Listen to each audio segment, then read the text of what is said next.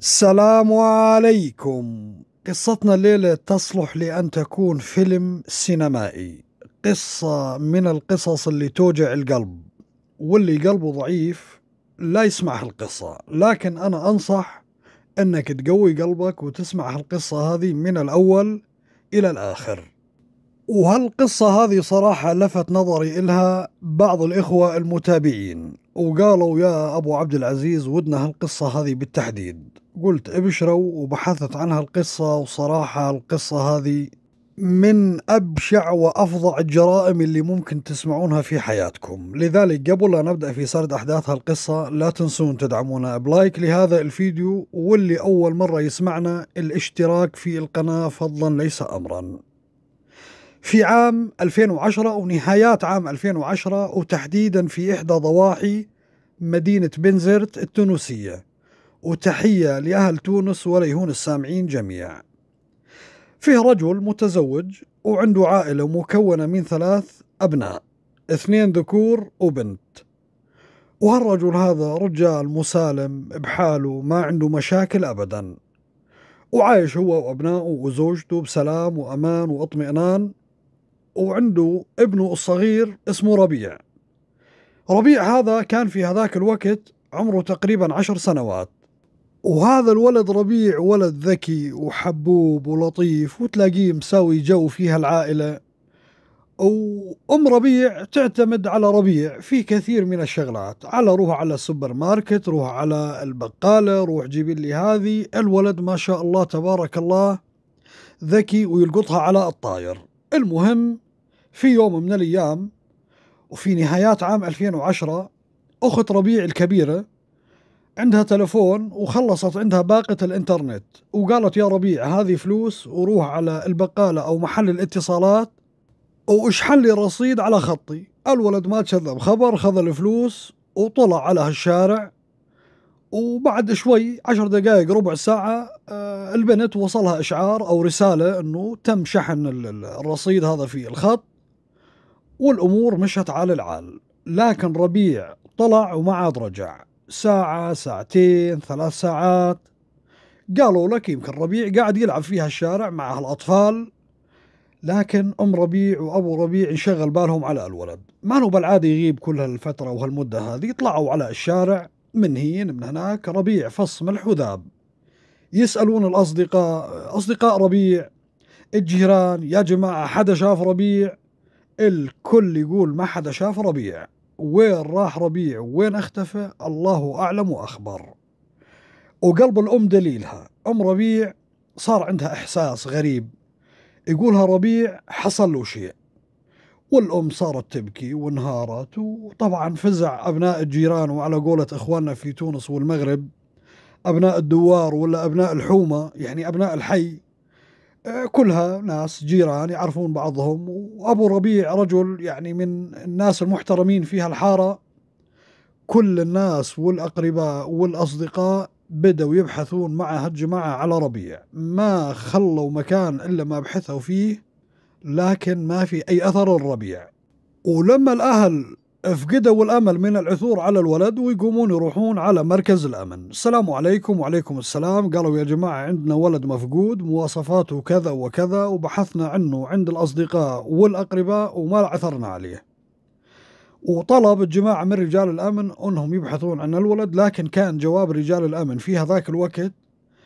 قالوا الولد يعني ما صار له كم ساعة مختفي وإحنا ما نقدر ناخذ بلاغ أو نسوي بلاغ ونبحث.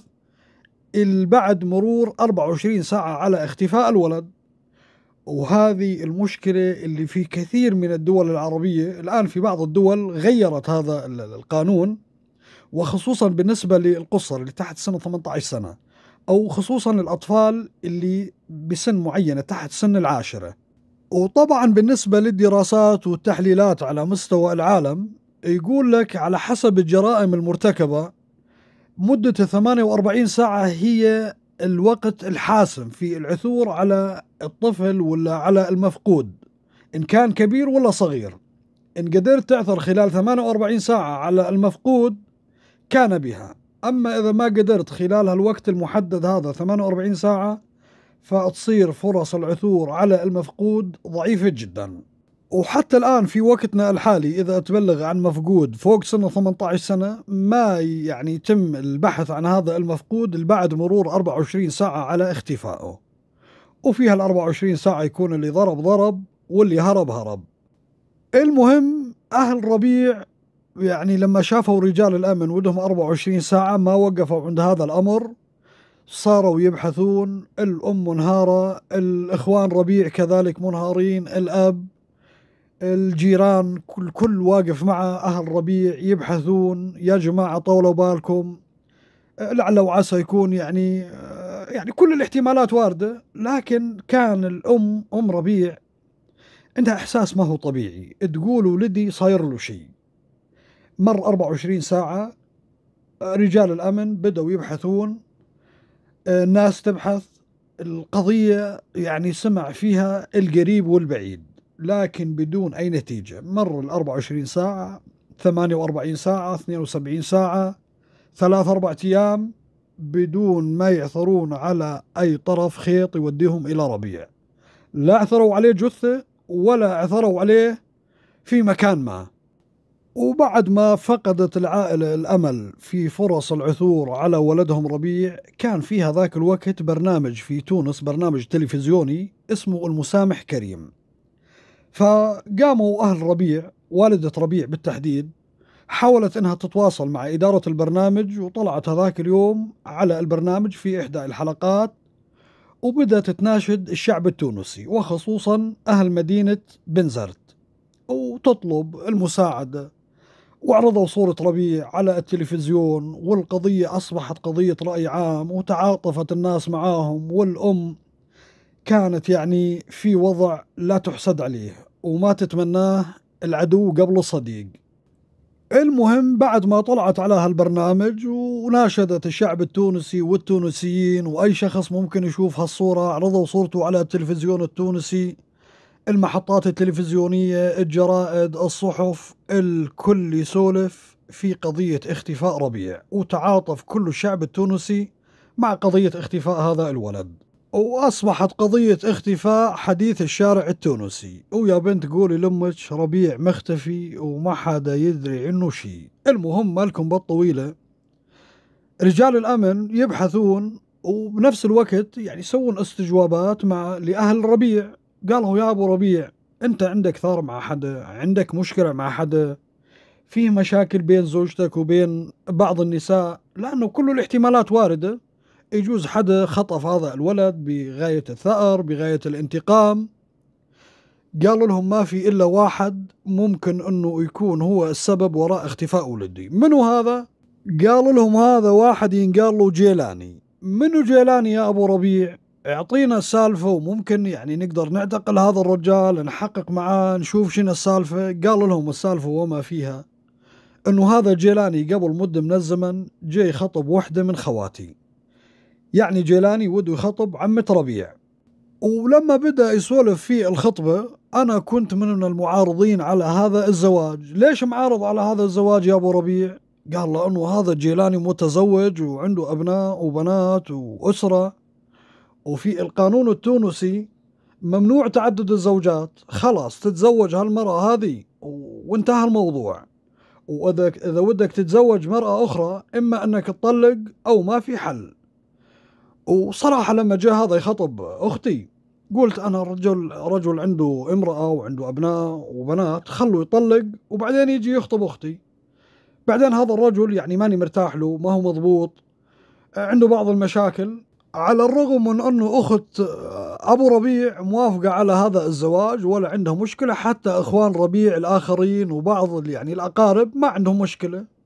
قالوا يا أبو ربيع أنت معارض هذا الزواج ليش يا أخي؟ بعدين الرجال داخل من الباب ما هو داخل من الشباك. يعني في النهاية راح يتزوج هو وياها. قالوا لهم ولا ممكن يحصل هذا الزواج.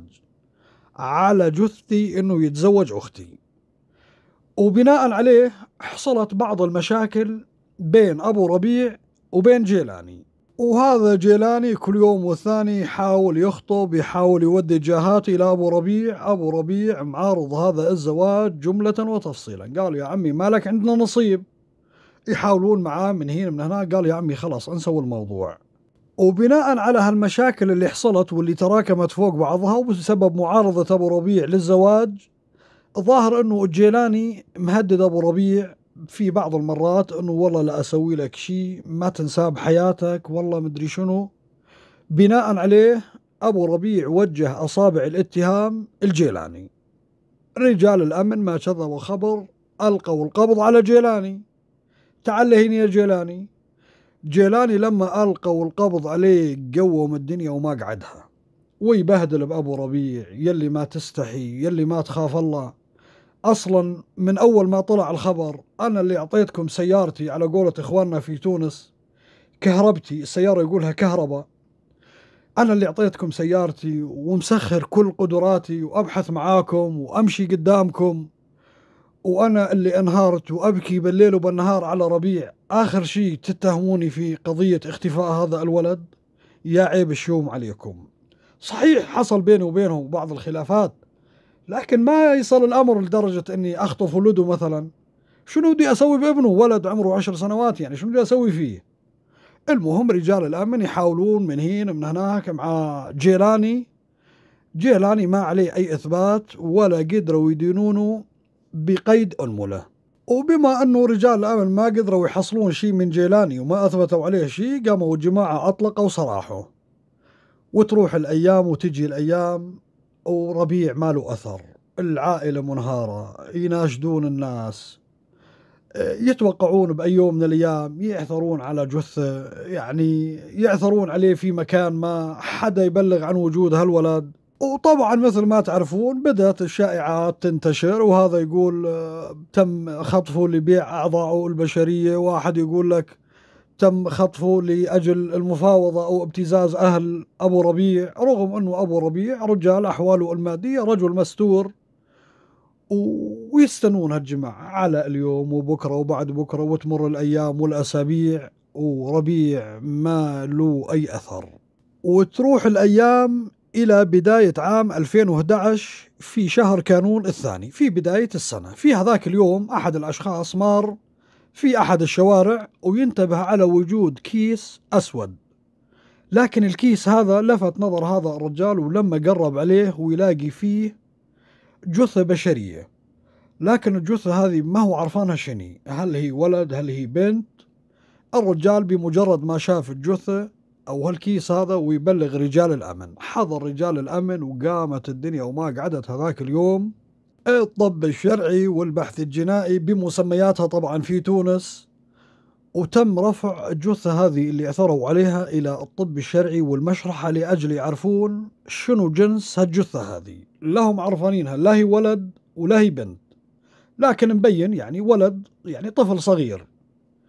الجثة كان منظرها فظيع جدا. وكانت مقصوصة إحدى اليدين الرقبة مذبوحة من الوريد إلى الوريد. الجسد الصغير هذا متعرض إلى أكثر من 30 طعنة في مختلف الأنحاء. العضو التناسلي ممسوح مسح ما هم عارفين هل هو ولد ولا بنت ما هم عرفانين فيه كذلك بعض الرموز والطلاسم اللي محفورة حفر الصدر آه، مفتوح يعني منظر كان فظيع جدا. المهم رجال الأمن عندهم بلاغ عن اختفاء ربيع اللي قايمة الدنيا وما هي قاعدة مشانه في تونس وفي مدينة بنزرت.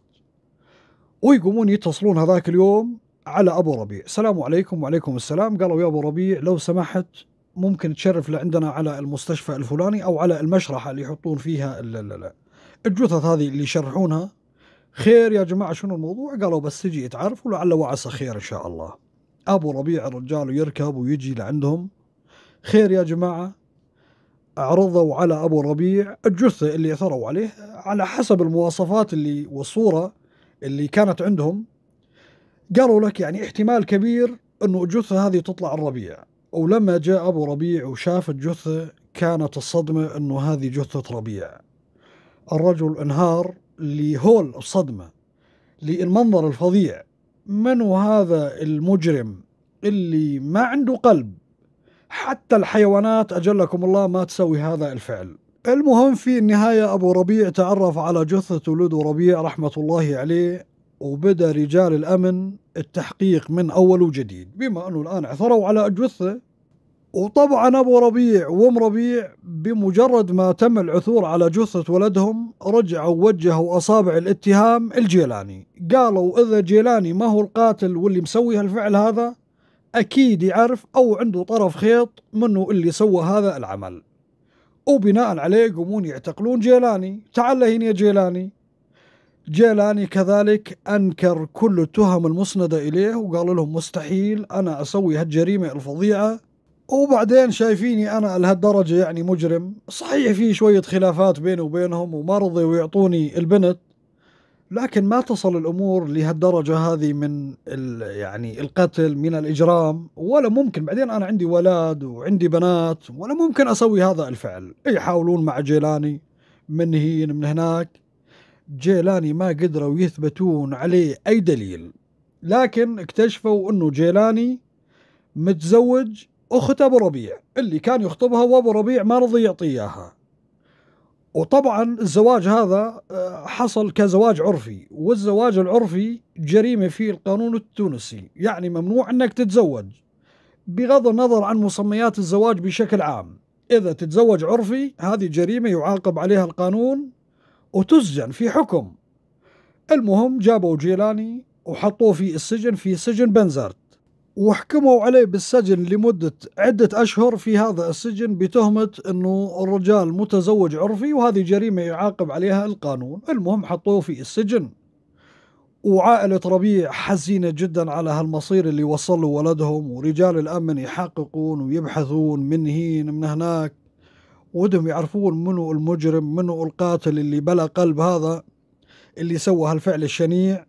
لكن بدون أي نتيجة وترجع تطلع أم ربيع مرة ثانية في برنامج المسامح كريم وتناشد رجال الأمن الحكومة المسؤولين أنهم يعثرون على القاتل بأي طريقة كانت وفعلا القضية لبشاعتها والجريمة لفظاعتها يعني أثارت الرأي العام التونسي وصارت سالفة الشارع كل من يسولف بربيع ومنو هذا اللي ما عنده قلب؟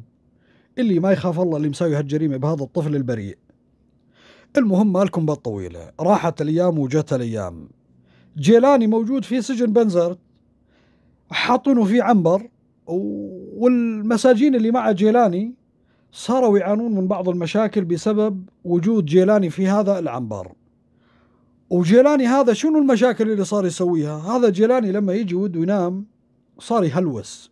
عنده هلوسات كوابيس وهو نايم تلاقيه يفز على طوله يقول كبلوه قطعوه شيلوه حطوه في الكيس. يفزز المساجين بنص الليل من حالات نومهم. ومساجين اللي داخل في مشكلة اللي عنده هم مكفيه.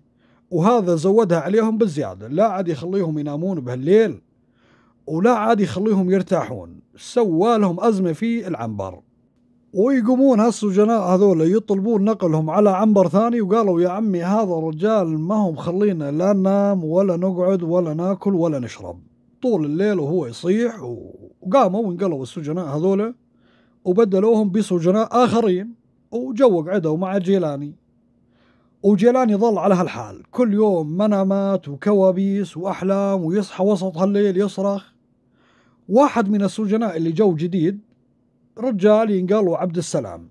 عبد السلام هذا داخل على السجن بسبب مشاجرة وصار شوي شوي يتقرب من جيلاني. قال له يا جيلاني أنت شنو سالفتك يا أخي؟ شنو موضوعك؟ تصيح بالليل يا أخي أقلقت راحتنا. سولف لي شنو موضوعك أنت؟ هذا فلان داخل في مشكلة في عركة قولاتهم أنا داخل في مشكلة مشاجرة بسيطة. أنت شنو مشكلتك؟ سولفني يا أخي. قالوا يا عبد السلام صراحة أنا مشكلتي والله بسيطة يعني داخل على السجن بسبب أني تزوجت عرفي على زوجتي وأنا متزوج. قالوا هذه شغلة بسيطة أنا عندي محامية ومحاميتي شاطرة وأنا أنصحك أنك توكل هالمحامية هذه تترافع عنك وتطالعك من هالموضوع بأقل يعني حكم. يعني تستأنف الحكم اللي انحكمت فيه وتطلع من السجن. قالوا القضية ما هي واقفة كمان عند هذا الموضوع. شنو القضية جيلاني؟ قالوا صراحة في بعض الإشاعات والسوالف أنه أنا متهم بقتل طفل عمره عشر سنوات. وهذا الولد قاعد يجيني في المنامات. قاعد أهلوس وأكوبس فيه وهذا السبب اللي قاعد يخليني أسبب لكم الإزعاجات. بعد أخذ وعطى بين عبد السلام وجيلاني. عبد السلام قال له شوف يا جيلاني يعني خلي السالفة بيني وبينك. بما أنه أنت قاعد تهلوس هالهلوسات هذه والهلوسات هذه ما هي طبيعية تصرفاتك ما هي تصرفات شخص ما له علاقة؟ هسه الآن أنا وياك بالسجن.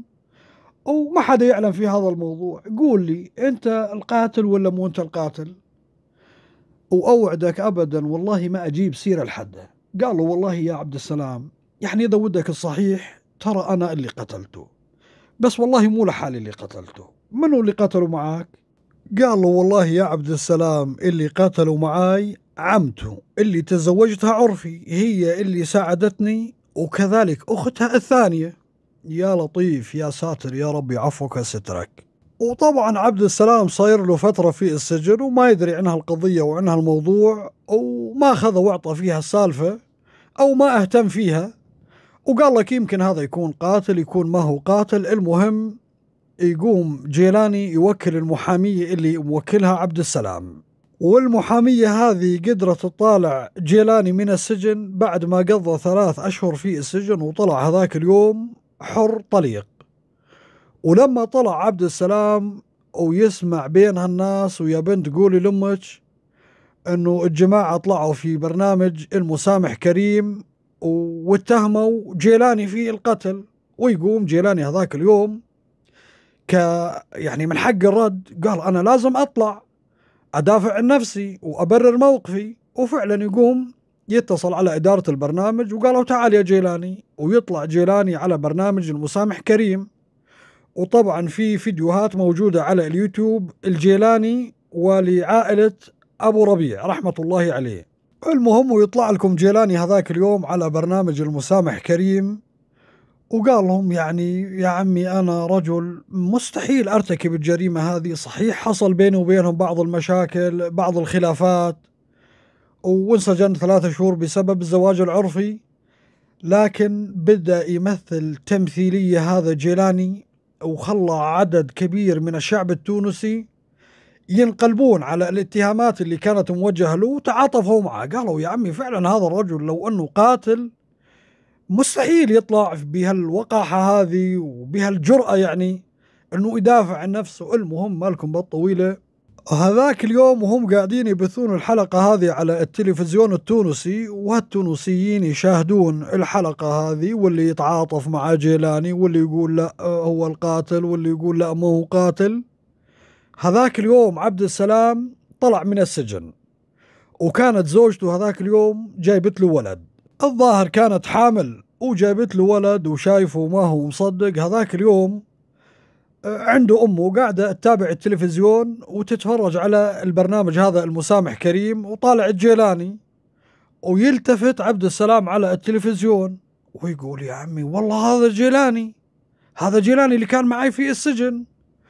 ويبدأ يترك الولد الصغير هذا اللي جاي جديد وفرحان فيه وبدأ يتابع الجيلاني شنو يسولف على التلفزيون؟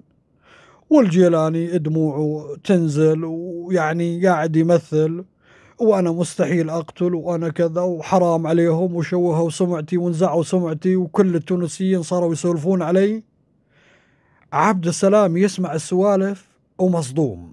يقول لك شلون؟ هذا اللي اعترف لي بعظمة لسانه إنه هو اللي قتل وهو اللي سوى وهو اللي كذا. عبد السلام كان خايف من جيلاني إنه مجرم قاتل لكن لو هو قاعد يسمع الجيلاني هو يسولف يرجع ينظر على ابنه الوليد الصغير هذا الطفل الحديث الولادة. تحركت المشاعر داخله. وصار يعني مثل ما تقولون يحط نفسه مكان أبو ربيع. على هالولد وطبعا لما طلع عبد السلام سمع في قضية ربيع وقضية مقتله. ولما شاف هذا بكل وقاحة قاعد يمثل على التلفزيون ويمثل على التونسيين بمجرد ما خلص البرنامج هذاك اليوم ويركب ويصير يبحث على عنوان أبو ربيع. أبو ربيع طبعا صار عنوان منزله أشهر من نار على علم. بالسؤال من هين من هناك ويجي هذاك اليوم على أبو ربيع. السلام عليكم وعليكم السلام. عرفوا عن نفسه أنا عبد السلام. والقضية يا أبو ربيع السالفة وما فيها أنا كنت مع هذا جيلاني في السجن. واعترف لي بكذا وكذا وكذا وكذا. وخواتك الثنتين مشاركات معاه في الجريمة. يا عبد السلام غير وبدل. يا رجل جيلاني ممكن بس خواتي قالوا الله وكيلك هذا اللي صار. وجيلاني هو اللي سولف لي هالسوالف هذه. قال له طيب أنت مستعد إنك تروح معاي على مركز الأمن وتدلي بشهادتك هذه؟ قال له على طول ما عندي مشكلة ابدا. أصلا هذول قتله وأنا لما شفته على هالتلفزيون قاعد يتبجح ويعني ينفي التهم الموجهة له قلت والله علي وعلى أعدائي إلا أصل أبو ربيع وأبلغه باللي أعرفه. ويقوم يروح أبو ربيع ما كذب خبر هو وعبد السلام وعلى مركز الأمن. السلام عليكم وعليكم السلام.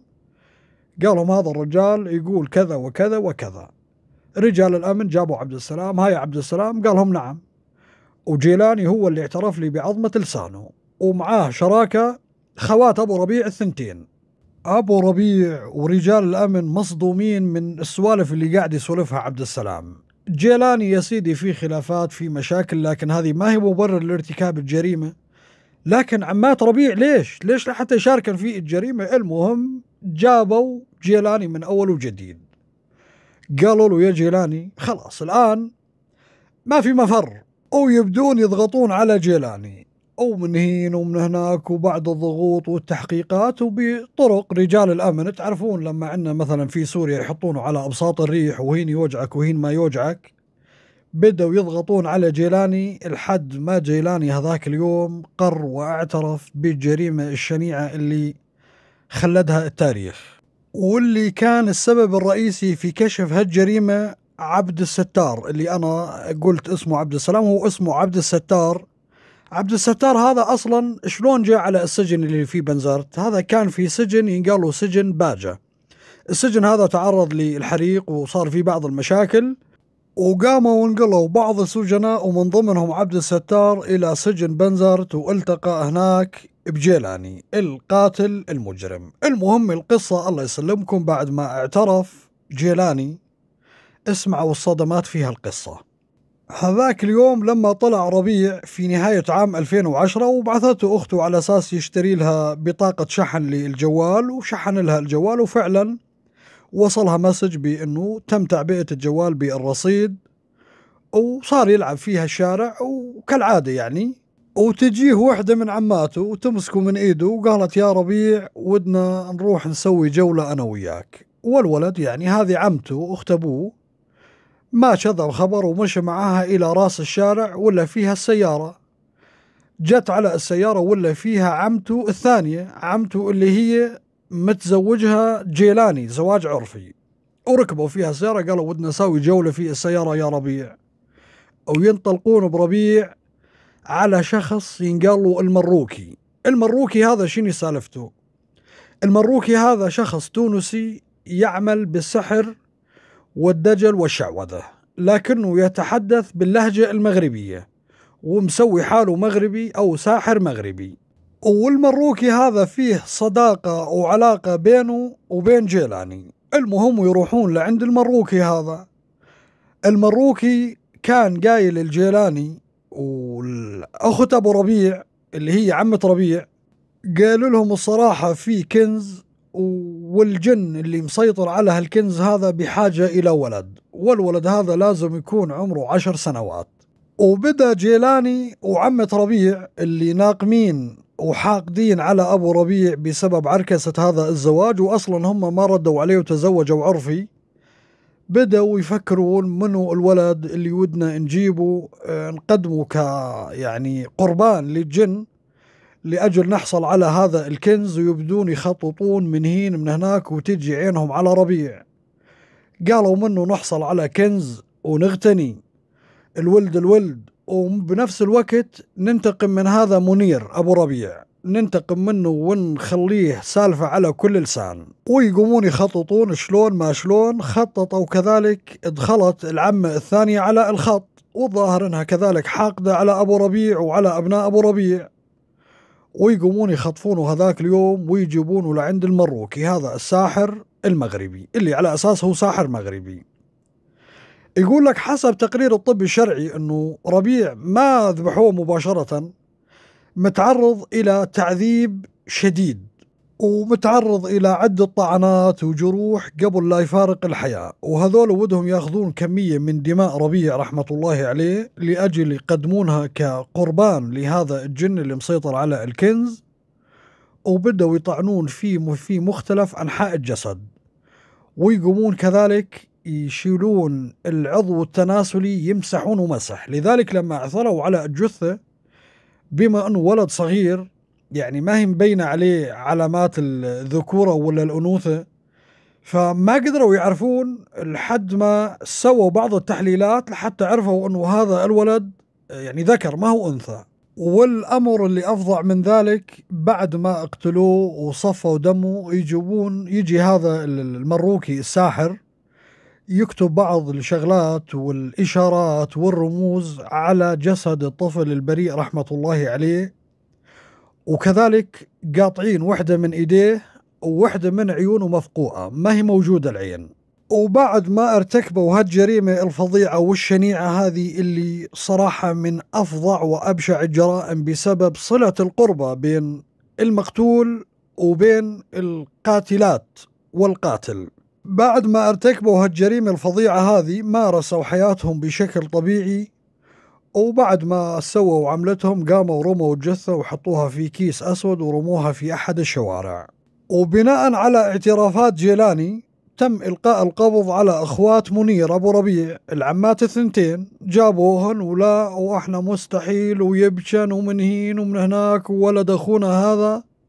بالضغط والتحقيق اعترفا بالمشاركة في الجريمة. وكذلك في شخص خامس مشارك في الجريمة. الآن عندنا جيلاني وعمات ربيع الثنتين والمروكي الساحر وابن الجيلاني. الخمسة هذول تم تقديمهم للمحاكمة في بداية عام 2011 وعلى روحات وجلسات وجيات والمهم في عام 2015 يعني بعد تقريبا أربع سنوات تم الحكم عليهم بشكل مبدئي بالإعدام شنقا. وتم الاستئناف استئناف الحكم ومحامين وجلسات والقضية أصبحت من أهم القضايا العربية وأهم القضايا التونسية. قضية رأي عام وتروح الأيام وتجي الأيام إلى عام 2022 في عام 2022 تم إصدار الحكم النهائي بحق القتلة الخمسة وتم الحكم عليهم بالإعدام شنقا. لكن مع كل أسف تنفيذ حكم الإعدام متوقف في تونس وفي بعض الدول العربية والدول العربية في المغرب العربي بالتحديد تلاقي القتلة والمجرمين ياخذون حكم إعدام لكن ما يتم تنفيذ هذا الحكم والحكم يبقى قيد التوقيف أو متوقف الحكم ويقضي حياته في السجن.